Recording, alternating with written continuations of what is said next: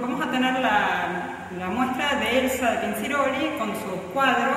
La mayoría son cuadros figurativos, donde van a poder observar tanto paisajes como rostros, pero también ella abarca distintas temáticas.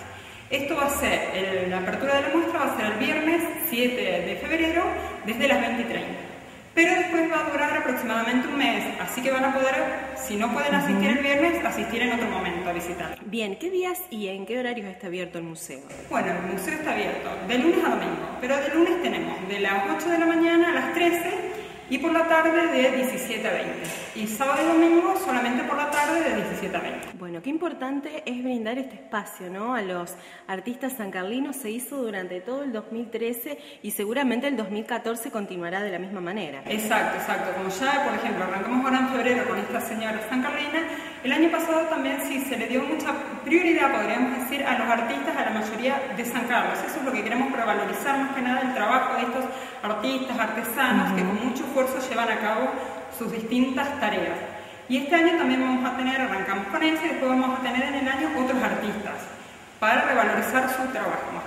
El año pasado también fue muy importante em, las muestras que se hicieron de las escuelas cumpliendo sus aniversarios, ¿no? Exacto, exacto, sí, sí, sí. Se dio mucha importancia a la cantidad de años que cumplieron las escuelas incluso quisimos mostrar cómo habían sido los cambios que se produjeron en las escuelas, pero la importancia que tuvo esa educación, podemos decir, ya que hablamos de las escuelas, esa educación en lo que es nuestro San Carlos.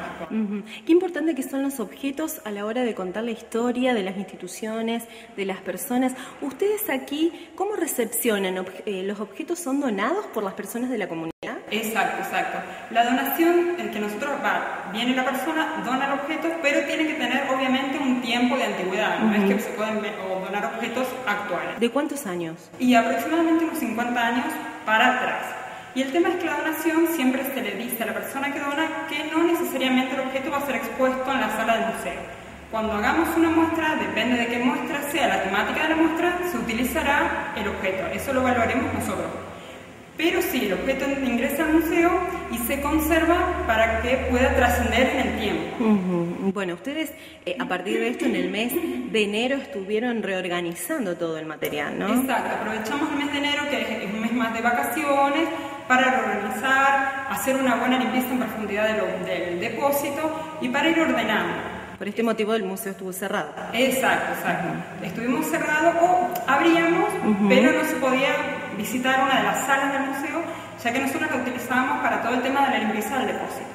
Además, el depósito es algo muy importante para el museo, porque no es que allá va y se pone el objeto, se limpia previamente, se conserva, se lo mantiene en una temperatura y en condiciones aceptables para que el objeto no se deteriore. Eso es la importancia que tiene el depósito. Porque hay gente que dice, ay, lo ponen en el depósito como si sería, bueno, en la trastienda del museo. Bueno, no, no. El depósito es muy importante que tiene el museo.